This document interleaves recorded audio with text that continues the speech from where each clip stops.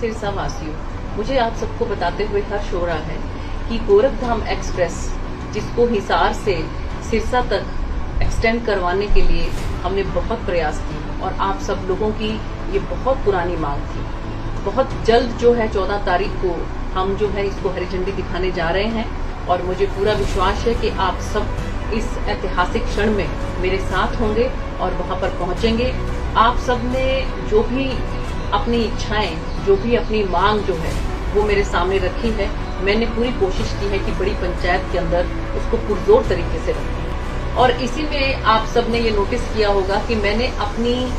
संसदीय क्षेत्र में जो भी हमारी काम थे, उसके लिए सबसे पहला जो मेरा वहाँ पर स्पीच था पार्लियामेंट के अंदर, एक जुलाई को, उसके अंदर मैंने इस मांग को उठाया था। के लिए मेरा सुझाव था कि गोरखपुर धाम एक्सप्रेस हिसार में सवेरे 10 बजे आकर खड़ी हो जाती है और शाम को साढ़े चार बजे वापस जाती है। इस गाड़ी का अगर सिरसा तक विस्तार कर दिया जाए, क्योंकि सिरसा हिसार से केवल बयासी किलोमीटर की दूरी पे है और यह दूरी केवल एक घंटे में पूरी की जा सकती है तो उससे उनको बहुत मदद मिल सकती है और इसी तरह और मुझे बहुत हर्ष है कि हम उस मांग को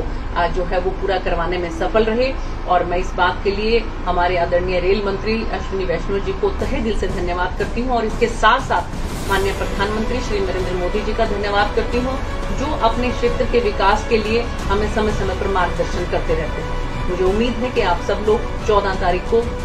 रेलवे स्टेशन पर इस ऐतिहासिक क्षण के साक्षी बनेंगे। बहुत